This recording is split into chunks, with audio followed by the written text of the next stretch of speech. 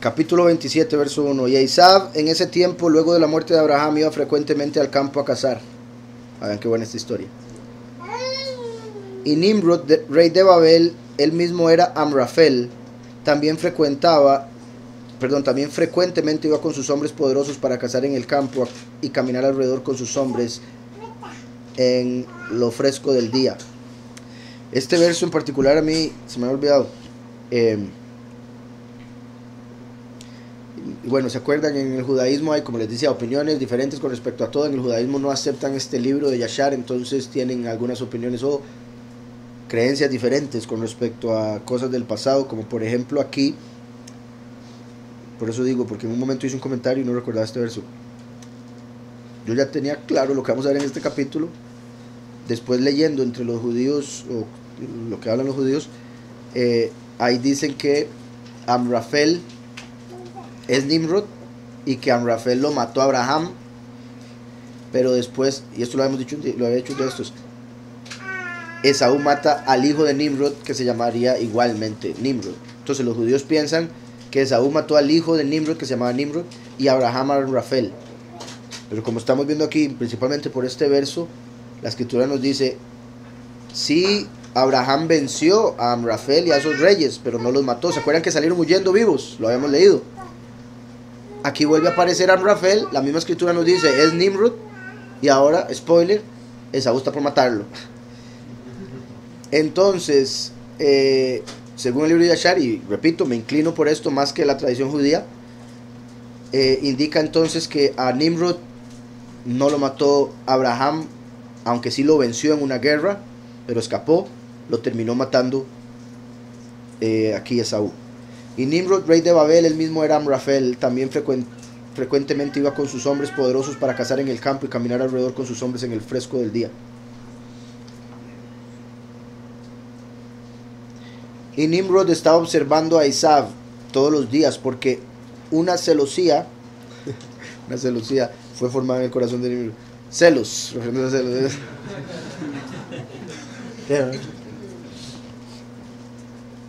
Y, eh, dice, y Nimrod estaba observando a Isaac todos los días porque se habían formado celos en el corazón de Nimrod en contra de Isaac todos los días. Y en un cierto día Isaac entró en- al campo para cazar y encontró a Nimrod caminando en el desierto con dos de sus hombres.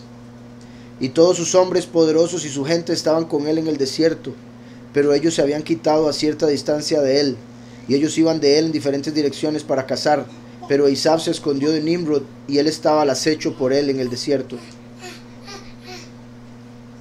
Pero Nimrod y sus hombres que estaban con él no lo supieron. Así que Nimrod y sus hombres frecuentemente caminaban alrededor en el campo del fresco del día también para saber a dónde sus hombres estaban cazando en el campo.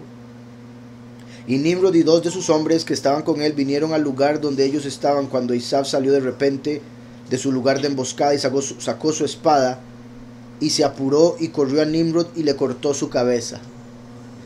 Vean eso, de una.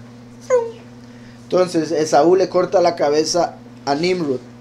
Este es un verso que, como les digo, ya lo había usado hace mucho y por eso tradición judía se me ha hecho un enredo. Porque, ¿se acuerdan que la escritura dice en Apocalipsis que la bestia tiene siete cabezas? Y que la octava, que es el último imperio, es una de las siete, que fue herida en la cabeza, pero que después es sanada esa herida.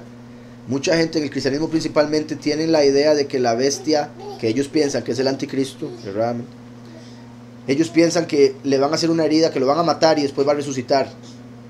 Entonces ellos están esperando eso como para decir es la bestia. Pero la escritura dice que tiene siete cabezas y una es herida muerte. Entonces, de ser literal, la persona tendría que tener siete cabezas. Ahí está hablando de imperios que han habido en la, en la historia humana. El de Babel fue el primero de todos. Y vean que el primero de todos, que es Nimrod, le cortan la cabeza. Y como he dicho, la bestia es representado completamente por Nimrod. A mí no me extrañaría que hayan clonado a Nimrod. Que hayan encontrado de alguna manera la, eh, el ADN de Nimrod. Ya que han encontrado, ya encontraron a Osiris, encontraron a Gilgamesh. Nada raro a, Nimrod, puesto que algunos creen que Nimrod era Gilgamesh. Entonces que lo clonarían y este sería el que se convierte en la bestia, el líder mundial. Su cabeza, su, la herida de su cabeza fue sanada. Su herida mortal fue sanada. Y el mundo entero se va a asombrar y le va a seguir. Porque ninguno va a pelear como él, dice la escritura. Curiosamente Nimrod era un cazador delante de Yahweh o en contra de Yahweh. Entonces, tras de eso, Nimrod significa el rebelde. Considero una gran posibilidad de que cuando Yahweh dice eso en Apocalipsis se está refiriendo a Babel. Por eso, Babel es el inicio, Babel es el final. ¿verdad? La gran ramera de Babel. Aquí empieza la confusión, aquí se termina la confusión. O el rebelde también, exacto. Empezó la rebelión aquí, aquí termina Yahweh con la rebelión. Em. También curioso que a Jacob se le dice, es la voz de Jacob, pero son las manos de Saúl. Y son las manos de Saúl las que le cortan la cabeza, bueno, una de ellas la que le corta la cabeza a, a Nimrod. Corrió a Nimrod y le cortó su cabeza. Y el Sab peleó una pelea desesperada con los dos hombres que estaban con Nimrod. Y cuando ellos llamaron por él, Isab se viró hacia ellos y les azotó hasta la muerte con su espada. Y todos los hombres poderosos de Nimrod, quienes le habían dejado a él para ir al desierto, oyeron el grito a la distancia y reconocieron las voces de esos dos hombres. Y ellos corrieron para saber la causa de ello, cuando ellos encontraron su rey y los dos hombres que estaban con él tirados muertos en el desierto. Y cuando Isab vio a los hombres poderosos de Nimrod viniendo a la distancia, él huyó y por eso se escapó. Pero Isab quitó las ropas valiosas de Nimrod. Vean esto. Nimrod tenía las ropas que Yahweh le había dado a Adán y que Adán las pasó. Hanok, Noah, Noah las lleva en el arca. Cam se las roba en el arca y se las da a su hijo Cush y Cush se las da a Nimrod. Nimrod las usaba y cuando él las andaba, los animales se postraban ante él. Por eso él era tan buen cazador, porque los animales venían a donde él y nada más toma. Esta vestidura especial, aquí ya se está encargando de que vuelva la familia, la ropa. Empezando por Esaú el malo. Esaú quitó las ropas valiosas de Nimrod, que el padre de Nimrod le había entregado a Nimrod, y con, con las cuales Nimrod prevaleció sobre la tierra entera. Y él corrió y las escondió en su baúl. Aquí hay un comentario, dice, en vez de baúl, receptáculo, es una traducción para la concordancia 1004, bait, usualmente traducido casa. Pero nota que estos vivían en carpas, no todavía en casas. Estas eran las ropas odoríferas. Segundo. Eh, entonces, diría, las llevó a su casa, bait. Pero como en ese tiempo se vivían en carpas y no en casas hechas así, entonces lo más seguro se estaba refiriendo a un baúl, que también es como una casita, pero para cosas. Recuerden que la bet de bait es un, espacio para guardar. También dice aquí, estas eran las ropas odoríferas que olió Yitzhak cuando Rivka le vistió a Jacob para recibir su bendición. Eh, me da risa lo odorífero, ¿verdad? O sea, como olían, pero a lo que se refiere el comentario es que cuando Jacob entra vestido de Saúl, y Isaac dice, huele al campo por las ropas que andaba. ¿Quién sabe cómo olía eso? Pero olía a campo, olía a campo.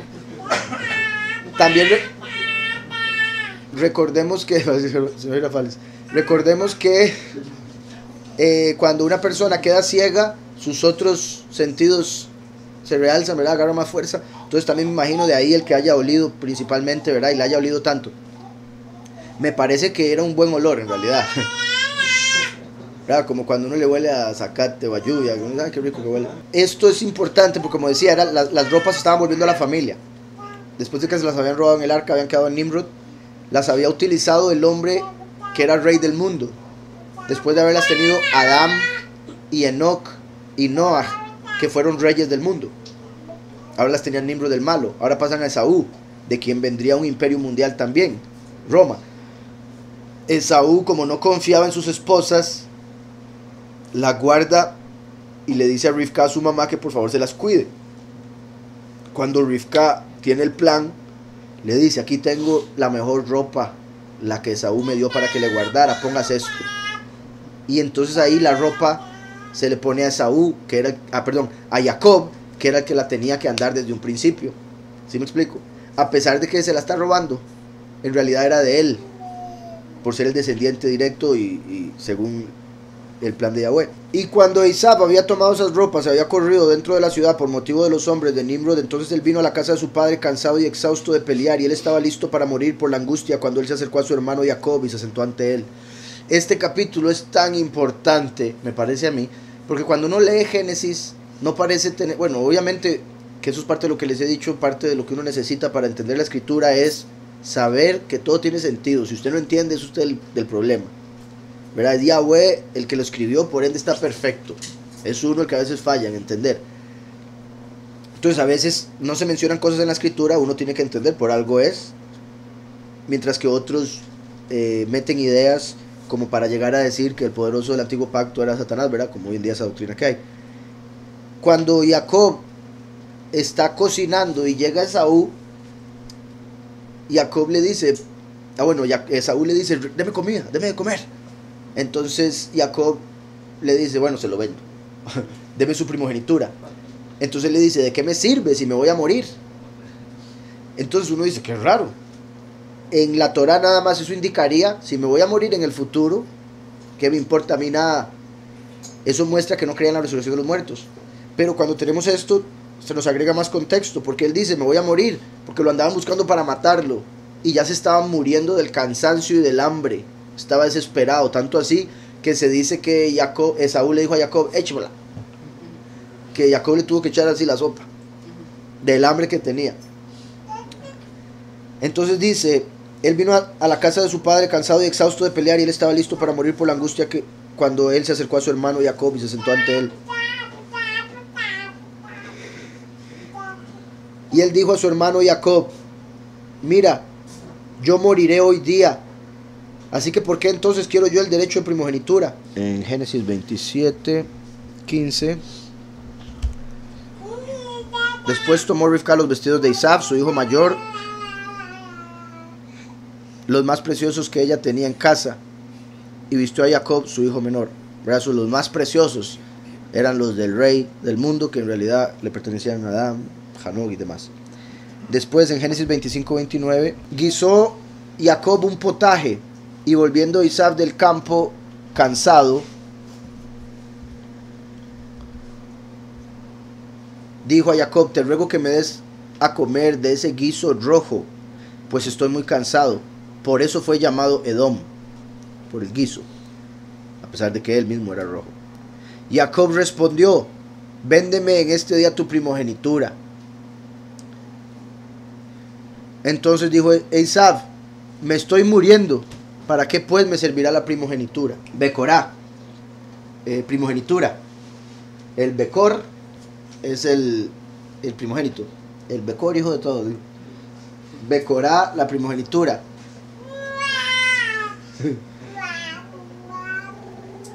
Em, entonces esto es primogenitura, esto es verajá. Curiosamente, esto es bendición. Vean cómo son las mismas, mismas letras, ¿verdad? Nada más se cambia una. Bendición, porque a través de la primogenitura viene la bendición.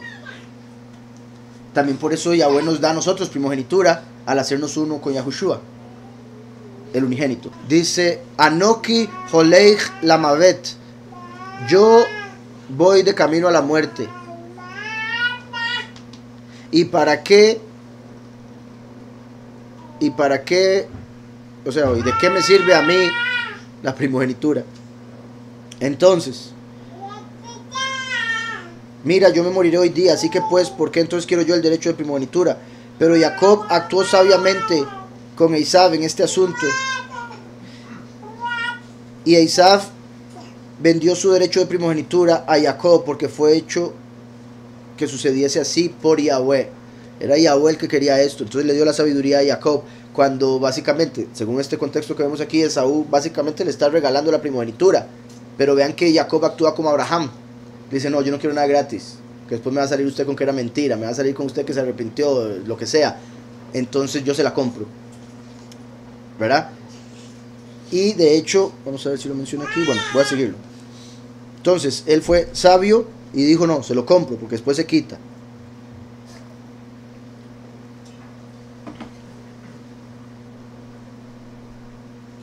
Y la porción de Isaac en la cueva del campo de Macpela, que Abraham había comprado de los hijos de Het para una posesión de un sitio de entierro. E Isaac también vendió a Jacob, y Jacob compró todo esto de su hermano Isaac por el precio dado. Como Isaac era el primogénito, y como la cueva Macpela solo tenía ciertos espacios, solo había un espacio para Esaú, el primogénito. Entonces Jacob, que quería estar con Abraham y Isaac en la tumba, le dice a él, véndame su primogenitura, pero también el espacio en la tumba. Entonces vean cómo Jacob está enfocado en lo porvenir, incluso en la muerte. Dice, y Jacob escribió esto completo en un pergamino y él lo atestiguó al mismo con testigos y él lo selló y el pergamino quedó en las manos de Jacob. Y cuando Nimrod, el hijo de Cush, murió, sus hombres le levantaron y le trajeron en consternación. Y le enterraron en su ciudad. Y todos los días que vivió Nimrod fueron 215 años y él murió. Y los días que reinó Nimrod sobre la gente de la tierra fueron 185 años. Y Nimrod murió por la espada de Isab en vergüenza y desdén. Y desde ese entonces, y desdén. Y la semilla de Abraham causó su muerte como él había visto en su sueño. ¿Acuerdan? Eh, Nimrod había tenido un sueño en que Abraham eh, lo mataba, pero también a cuatro, que eso se refería a la guerra donde los vencía, pero también estaba profetizado, eventualmente vendría la muerte de él a través de Abraham. Y a la muerte de Nimrod su reino se dividió en muchas divisiones y todas esas partes sobre las cuales reinó Nimrod fueron restauradas a los reyes respectivos de la tierra que los recuperaron luego de la muerte de Nimrod y toda la gente de la casa de Nimrod fueron esclavizadas por mucho tiempo a todos los otros reyes de la tierra. Dice aquí Pablo, la ropa de Nimrod puede conectarse con la espada de Goliat. Pues en el sentido de que se le quitó al enemigo algo que terminó siendo positivo, pues más o menos sí, solo que la diferencia es que como dije, la ropa originalmente sí era de Jacob por derecho, mientras que la espada era la espada de Goliat y se puede decir que David obtuvo el derecho de agarrarla cuando lo venció. Yahushua en cierta forma compró el sacerdocio, primogenitura, del primogénito del sacerdote. Dice el sacerdocio levita con su sangre viendo el sangre como el potaje rojo, así como Isaac y Jacob.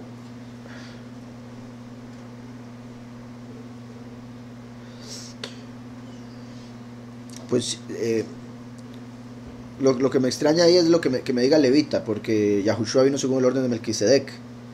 Ahora él pagó por todos, incluso por los levitas, sí. Y al ser el de Melquisedec está por encima del sacerdocio levita. Pero sí, lo que está diciendo se puede ver en el sentido que Yahushua vino para mostrarle a Satanás como si fuese Saúl, representado en Roma, y los falsos judíos, que él es el verdadero hijo de Yahweh y el verdadero primogénito, que Yahushua estuvo primero que todos los ángeles. Entonces, al venir al mundo y morir, siendo asesinado por Roma, que es Saúl, entonces es como, y tras de eso sale sangre de Yahushua que se la traga a la tierra, sería como el potaje rojo que se tragó eh, Esaú.